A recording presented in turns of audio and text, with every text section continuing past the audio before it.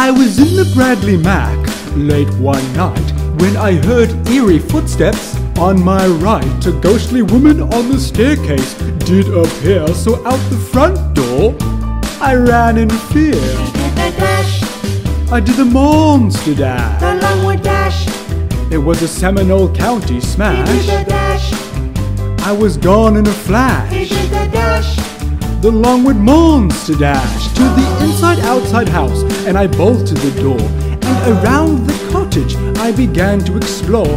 Well, I bet the neighbors could all hear my shout when the captain's ghost cat Brutus jumped out. he did the dash, I did the Monster dash. the Longwood dash, I ran Church Avenue he fast did the dash, from the souls of the he past. did the dash, The Longwood Monster Dash.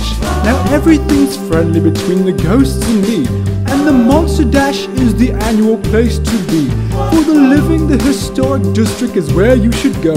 And if you see an apparition, just wave hello. then you can dash, You can Monster the Dash monster dash, and do my graveyard smash. then you can dash, to Reiter Park in a flash. then you can dash, The Longwood Monster dash. then you can dash, can Monster Dash the monster dash, to help us raise some then cash. you can dash, to preserve the then past. you can dash, The Longwood Monster Dash. Make sure you all run fast.